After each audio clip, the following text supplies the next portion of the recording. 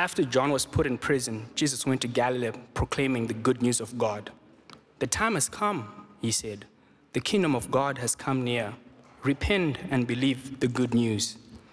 As Jesus walked beside the Sea of Galilee, he saw Simon and his brother Andrew casting the net into the lake, for they were fishermen. Come, follow me, Jesus said, and I will send you out to fish for people. At once they left their nets and followed him. When Jesus had gone a little further, he saw James, the son of Zebedee, and his brother John in a boat, preparing their nets. Without delay, he called them. They left their father Zebedee in the boat with the men they had hired and followed him. The word of the Lord.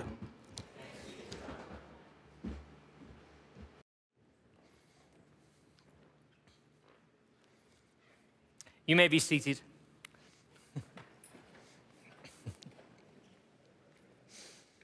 Our gospel text this morning gives me as a preacher so many spaces that I wanted to go with. And so I, I, found myself wrestling constantly with like, what should I say about this text? And I could say this, I could say that, I could say the next thing. And then I tried to figure out how to introduce this sermon. And I wrote about five different intros to this sermon. They were all terrible. And um, so eventually I ended up deciding I'm just going to start the sermon right, with, with two questions that jumped out to me. And these two questions are what I want to focus on in the text that we've just had read to us. And what I'll then do, just so you know, is spend my night sleepless about all the other things I should have said or could have said this morning.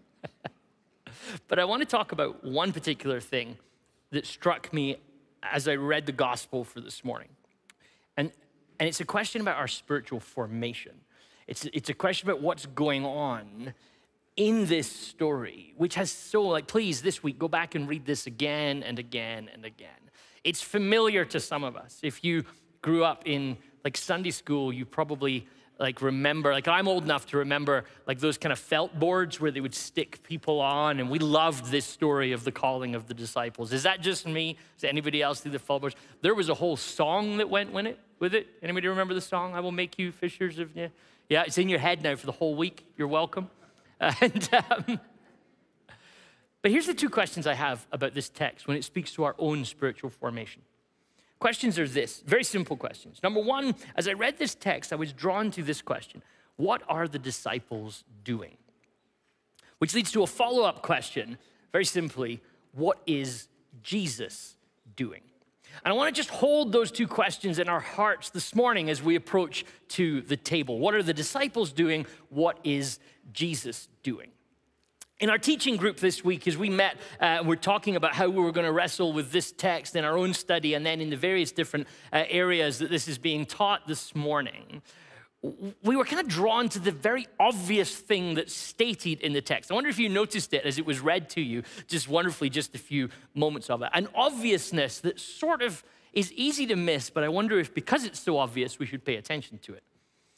Andrew and Simon are casting a net into the sea, the text says.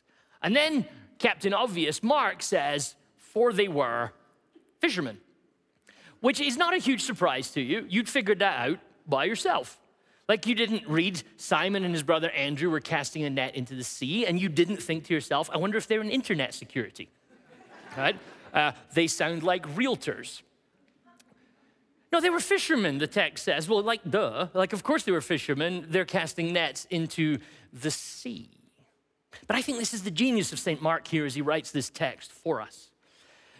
Because he tells us they are fishermen on the basis of what they're doing. What they're doing tells us what they are. They're doing fisherman things because they are fishermen. Do they believe they are fishermen? I don't know. Do they feel like fishermen?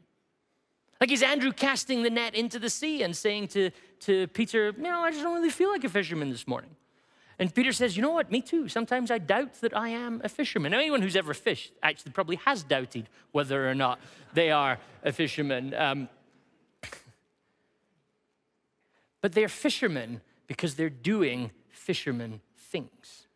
Mark seems to offer us something about the deep spiritual formation story that's going on here that points us to think very, very carefully about the habits and the power of our habits.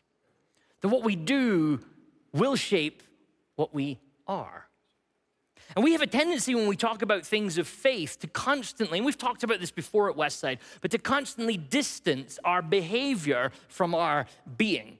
We like to think about faith in the context of it being ideas, of it being rational thinking, of it being maybe emotions if we're really sort of trying to be advanced. But we get very uncomfortable, particularly if we live and worship in the modern West.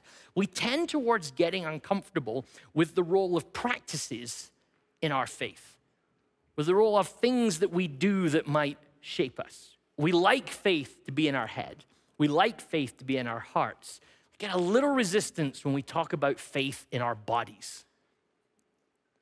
As a result, perhaps you've heard somebody say this, perhaps you've said this at some point, that your Christian journey, when you're taking stock of where you are, maybe you've said, Am I a Christian? Do I believe properly to be a Christian? Do I think the right things to be a Christian? Do I have the right faith to be a Christian? Do I feel like a Jesus follower? Have you ever encountered someone, or has it perhaps been yourself, where for whatever reason there's some moment in your life where you're just not sure if your beliefs, your faith, or your feelings are really holding together what you want to be true? I know in my journey, there's been many points where I've wondered, am I really a follower of Jesus? Because if Jesus knows what's going on in my mind, which he does, maybe I'm not quite cutting it. But it's really hard to imagine Peter throwing nets out into the sea going, but the thing is, I just don't believe I'm a fisherman. it's hard to imagine Andrew hauling fish back in over the side of the boats and be like, you know, some days I just don't really know if I'm actually a fisherman. They don't think like that. They don't say things like that because their practices are holding and proving what is true of them. And this is the power of a practice driven faith a faith that wants to take part of all of your body, not just how you think, not just how you feel, but how you behave and what you do. This is why churches baptize people, by the way. Because when, and this is why we do it publicly often, not secretly. There are times around the world where people need to get baptized secretly. Canada is not one of those places. And one of the reasons that baptism is public is because you know something happened to you, and we all know that something happened to you. We were all there, and they live streamed it. We saw you get in dry. We saw you come out wet. And, and like nobody wakes up one day and thinks, was I baptized or was I not baptized? No, you got wet. We were all there. We saw it happen. The practice of baptism speaks to the absolute certainty of the fact that you have made that commitment to follow Jesus, that you have stepped into his way. And so often, because we don't think and take practices seriously, we're left with just things in our head. And we start wondering, well, what does that mean for me? Was I really baptized? Did I actually take Eucharist? And I think this story pushes us just subtly and gently, and it's going to become really important as you read your way through Mark's gospel. It shows us that our behaviors shape and form us. At some level, you will become what you repeatedly do. And Jesus comes to these people who are fishermen because they're throwing nets into the sea, and he calls them to fish for people. Uh, this is uh, the, the, way I've sort of translated this here is to try and hold the kind of slightly awkwardness of the Greek because the sentence doesn't entirely make a lot of sense. Jesus is painting a picture you've never seen before. It's just that, again, singing the song in Sunday school makes us feel familiar with this. But the text kind of reads like this Follow me, and I will make you become fishers of people. This metaphor has been slightly abused in the church over the years, and we've kind of taken it to often do things that I don't think the text means.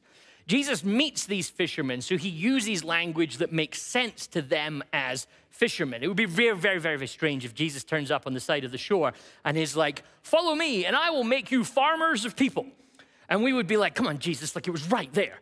They're fishing what about fishers of people? But Jesus is dropping into something they are familiar with to explain something they are not familiar with. But unfortunately, I think we've often been deeply unfamiliar with the image that Jesus is taking as well. And as modern Westerners, we've often come to this te text, and all we've been able to think about when we've approached it is that this must speak to quantity because it must be the only thing that matters when it comes to fishing.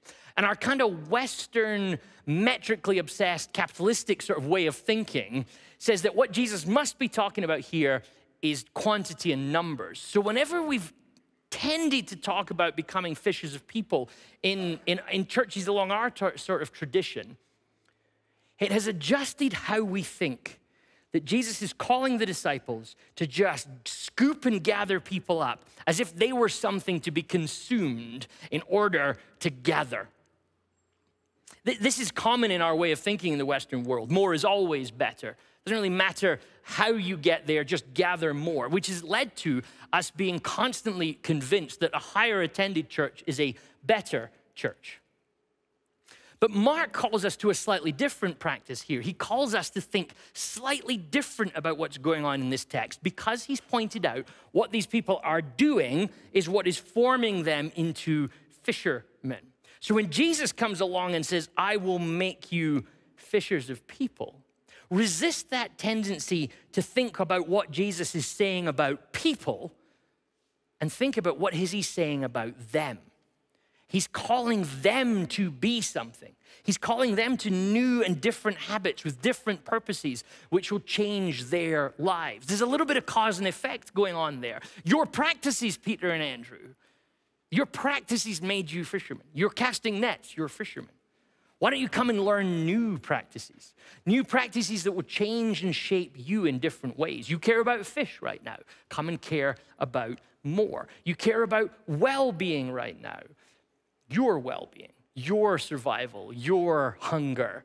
What if you came and cared about the well being of others? But at some level, I think the reason Jesus uses this image to help these disciples is Jesus seems to be saying, how you learn to be fishermen will also be how you learn to fish for people.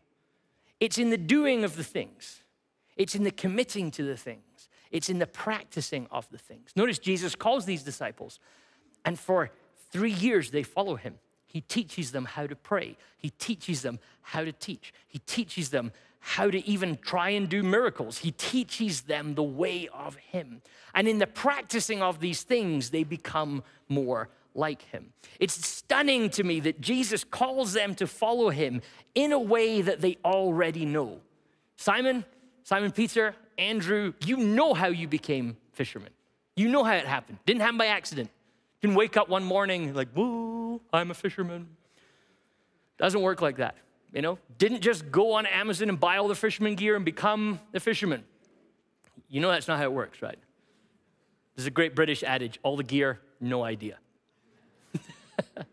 it's not just doesn't just happen to you. You practiced and you developed and you honed those skills and you became a fisherman. What if you came to me and took on practices and skills and honed the way to care about something bigger. And this obsession with reading the metaphor of Jesus as a metaphor about numbers and a metaphor about people rather than about us, I think has led us so often as followers of Jesus to prioritize creativity and innovation. And therefore, let me just say this here's something I notice churches in our context that have prioritized creativity and innovation have struggled to generate deep spiritual formation amongst their people. Because we're always looking for the new thing, because we're just waiting for it to just happen for us. And Jesus comes to these disciples and he says to them, You know how you became fishermen. Come follow me. I'll show you. I'll make you. I'll help you become something else. You know this is true, right? You know this is true in every other area of your life. Stability and depth are created by consistency and practice. Nothing that you're good at happened by accident. We love this notion of God given talent, but nothing that you're good at happened by accident. This is true in every category of your life. If you're a parent, like random parenting doesn't make you a good parent. I remember in my early 20s sitting with a group of older gentlemen whose sons were all my friends, and they were all amazing guys. And I said to them, like, how did you, how did you raise sons like this? And they gave me the most boring piece of advice that a 23-year-old can ever hear. They were like, we were just really consistent, and we tried to always turn up. Like I wanted, like, here's the one key. And if you just do this one thing, it'll all be simple for you. Because that's what we want in the modern world. Just give me the thing. Just make me a fisher of people, Jesus. And Jesus says, No, no, no, you got to come learn how to do this with me. Nothing in your life happened by accident. that you've learned. Like, you know, Emily is, is leading worship for us this morning. She didn't just wake up one morning and be like, I'm gonna play guitar, and then the next morning join the band. It didn't happen that way. Whenever anyone stands up here and leads us in, in, in the time of worship, there is hours and hours and hours of work has gone into this, of learning how to do things. And there was dark moments where G to C on the guitar was painfully difficult. And then one day somebody said there's another whole new chord under that D, G, C, D. Now you're a worship leader. I'm joking. Sorry, it's a cheap shot.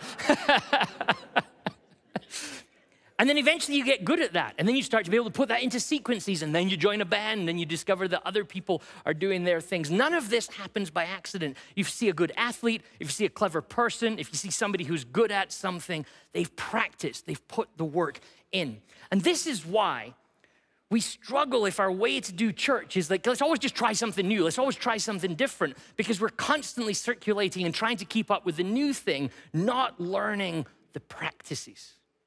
And this is why churches across the world and throughout history have often had repeatable, dependable, solid practices practices of prayer, practices of scripture reading, practices of worship, practices of Eucharist. Because what we've always confessed is that they will form us if we trust them. The music teacher says, keep making that G chord and switch into that C chord, and one day it'll happen automatically.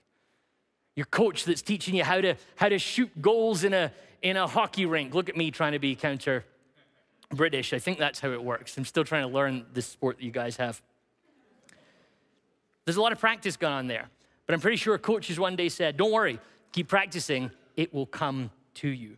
These practices will form us if we trust them. If you keep gathering with God's people, praying with God's people, praying on your own, reading scripture, learning scripture, gathering around the table, it will form you if you trust it.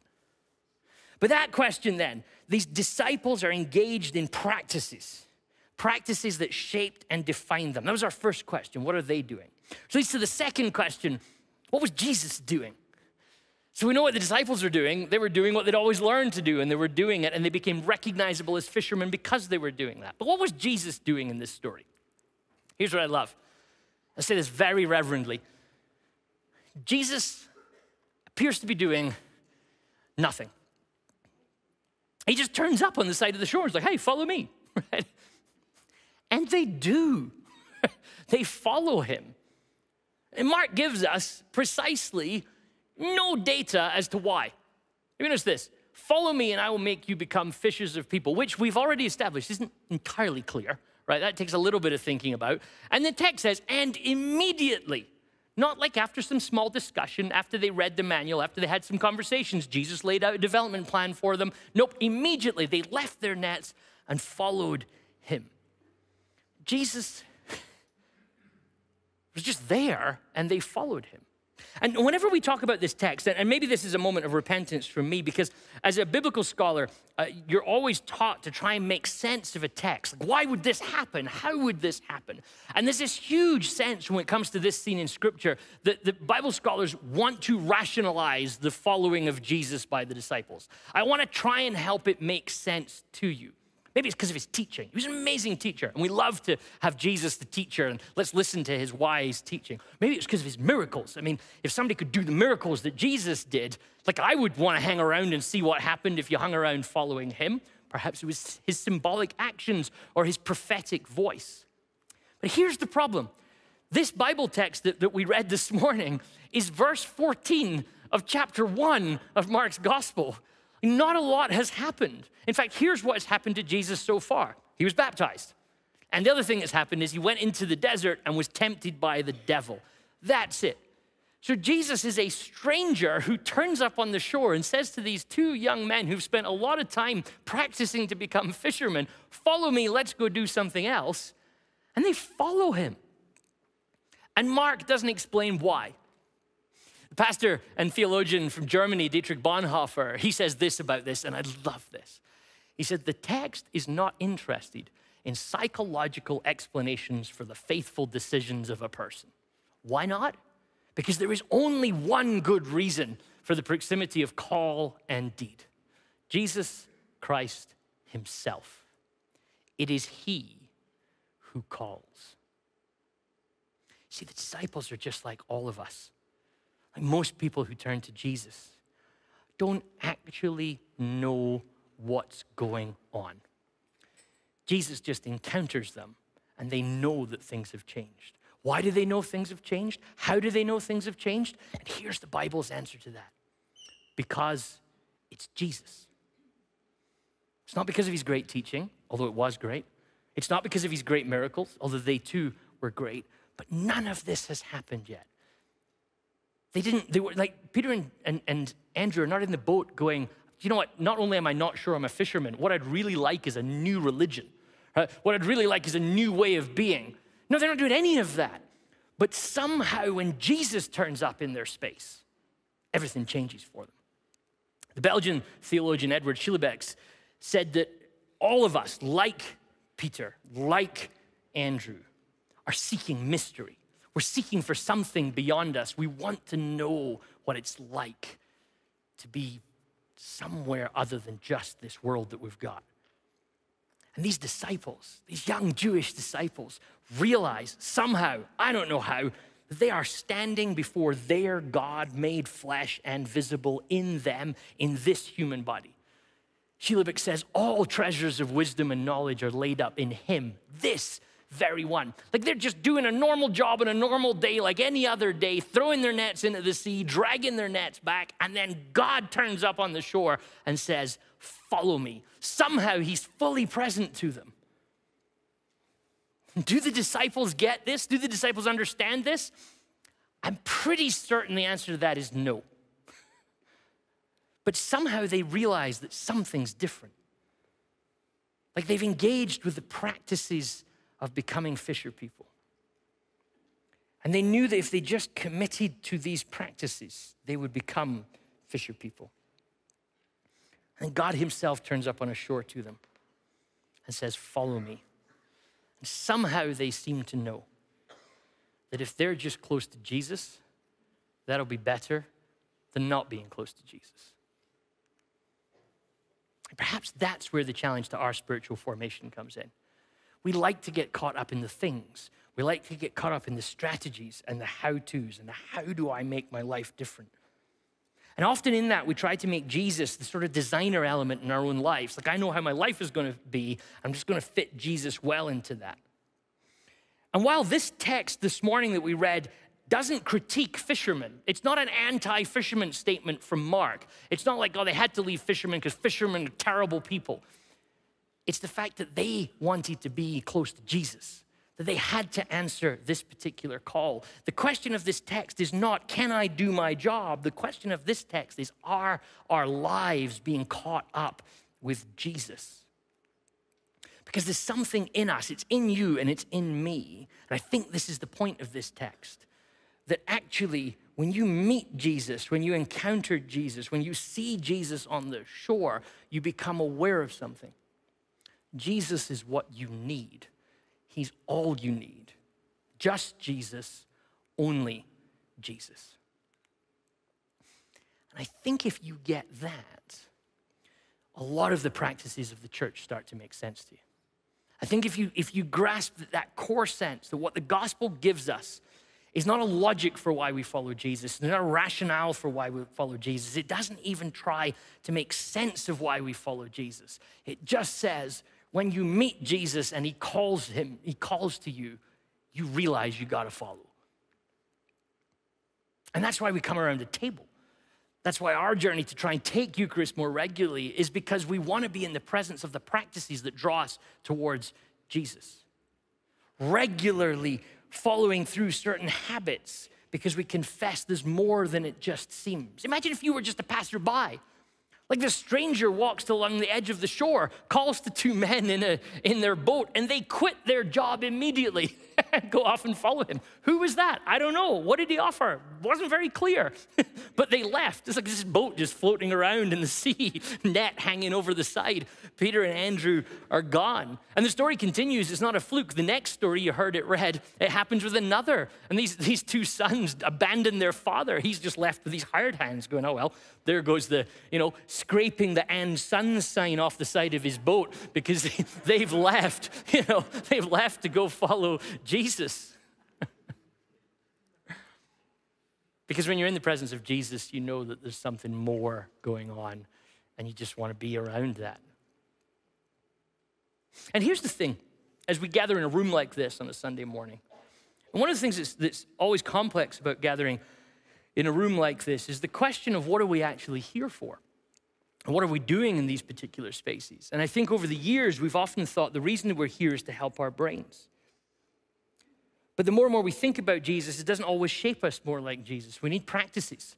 We need something that engages our whole body, our minds, our, our emotions, and our bodies that draw us towards Jesus.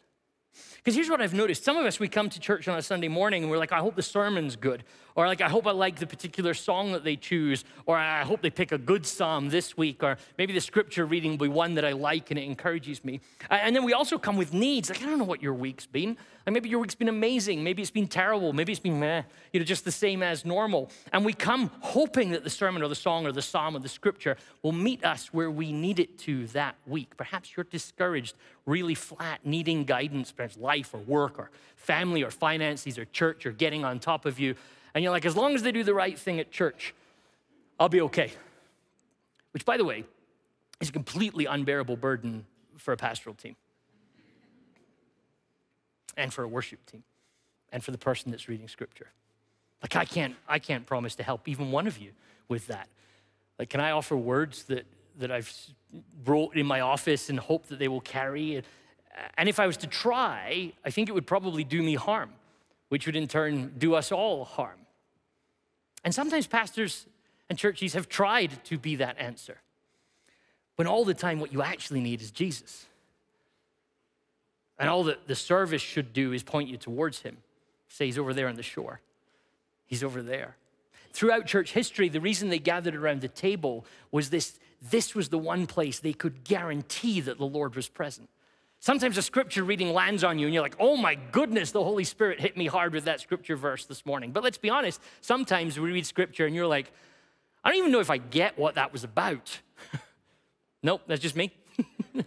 like, and you're like, that, way, I know that was supposed to bless me, but I didn't even understand it, right? And sometimes somebody prays, and halfway through the prayer, your mind wanders, or, or the wrong song is sung, and you're like, I'm out now. I don't like that song, and I'm not now singing to Jesus for the rest of the day, or, or whatever it is that happens.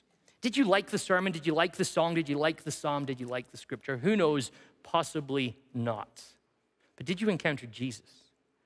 Did he meet you and call to you? Did he remind you that he loves you? And that's what the table promises you is yes. I can preach bad sermons. I can preach sermons that make you believe less in Jesus than you did when you arrived. Right? We can sing terrible songs. The band can all freestyle, and start hiring people that decided the night before that they were just going to be musicians and that was enough. We could turn to absolute chaos. But as long as we land here at the table, you can go home knowing that I met Jesus today. And everything else is a bonus. See, because it, what the church has always confessed that as surely as a baptized person is soaking wet, so sure is the church that even if the worship team have the worst day on record, the Holy Spirit is with us as we gather around the table. And the Christians have confessed that from the day that they were with Jesus to this day now. The same Jesus that you meet at the table that we talked about in the psalm as we opened the service. The very same Jesus who stood on the shore and said to Simon, Follow me. That very same Jesus wants to meet us daily, wants to meet us regularly. And our practice is to draw us to the table and meet him here. That's why I want to invite you to the table today. And that's why the church should always invite you to the table because you didn't come for clever words, good strategies, or neat ideas. Our confession as the church has to be that we come here because we need Jesus. So I'm going to invite you to the table in just a moment. Kristen's going to read our, lead our liturgy for communion this morning. But I invite you just to breathe out an affirmation that the Jesus we believe in is the Jesus who called Peter, who called Andrew, who called you and He loves you, and you just need to be near Him. Why don't you say this confession with me? I believe and trust in God the Father Almighty. I believe and trust in Jesus Christ, His Son. I believe in trust in the Holy Spirit. I believe in trust in the three in one.